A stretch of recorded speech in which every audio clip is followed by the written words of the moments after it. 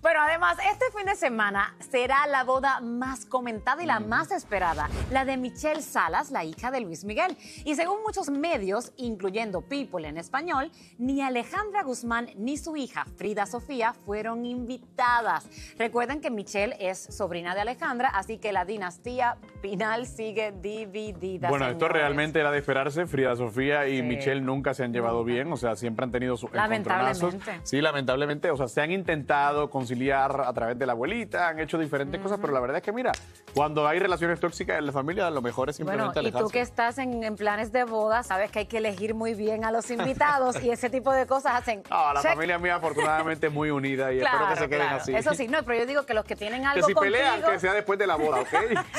pero así es que uno evita, ok, este no, este Malos sí, este no. entendidos, va sentando en la mesa. Oye, y la boda aparentemente en Italia, eso es lo Grande. que va a ser... Este fin de semana. Muy- Vamos a ver a qué ver va qué tanto publican.